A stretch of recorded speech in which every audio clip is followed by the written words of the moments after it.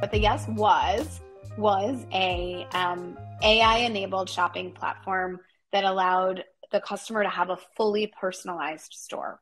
So we used um, different signals, explicit signals to understand um, what brands she loved, what sizes she wore, what her overall style aesthetic was, so that each person who visited the Yes had an entirely different store that was based around her. So you and I would both go to the Yes, we'd open up the app or we'd go to the site. Our home feed would be completely personalized to things that we had expressed interest in, either by saying, I like this brand, or there or by yesing a product when we had been there before. That was the vision from the beginning. We started building it. We started, you know, the team, everything. When we when we started, it was just me talking to brands.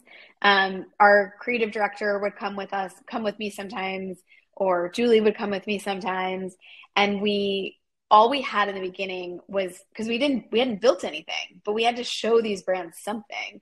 So we had these prototypes that we made on our laptop. We were launching an app but we had a prototype on a laptop.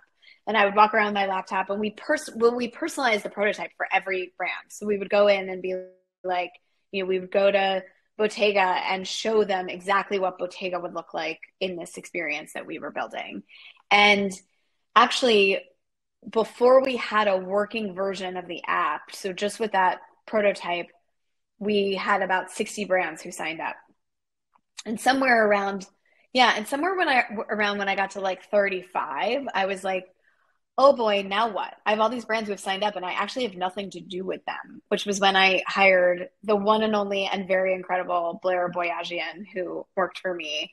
Um, and we joke around that she's like head of now what? Okay, like we need contracts signed and we need to keep them somewhere and we need you know we need an onboarding process and we need all of these things. And i was like great. I'm so glad you're here.